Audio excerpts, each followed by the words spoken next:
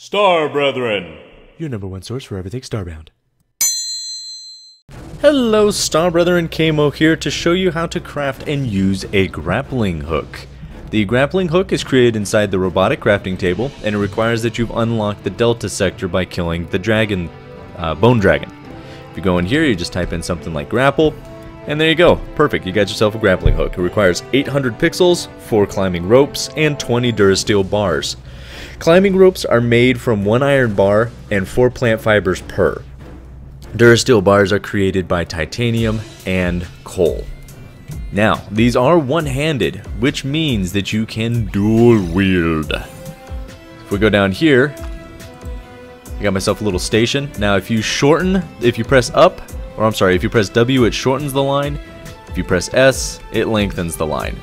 And you can do all kinds of stuff with this.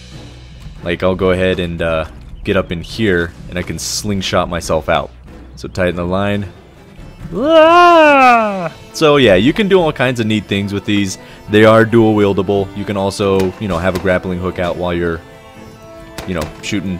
There you go. While you're shooting things. So you can do all kinds of things with with this. It's just a matter of getting used to, you know, how they fly around and all that kind of stuff. But yeah, guys, that's been this video. If you have any videos you want me to make, just let me know. In the meantime, you guys take care.